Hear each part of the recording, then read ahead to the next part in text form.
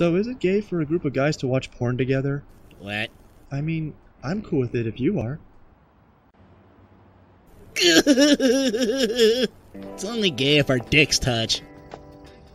Wait, when did that become gay?